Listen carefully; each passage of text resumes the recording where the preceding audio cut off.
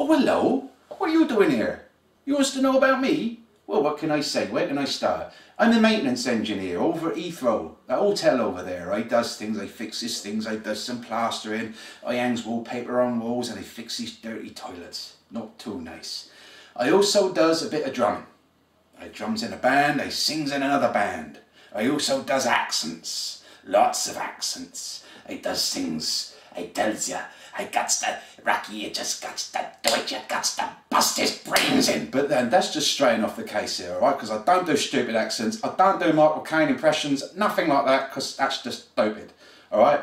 But a, a bit about myself, really. I'm a scuba diver, like I say, I do drumming, I do singing, uh, I'm a maintenance engineer, I've done all sorts of things through my life, but my main passion is music.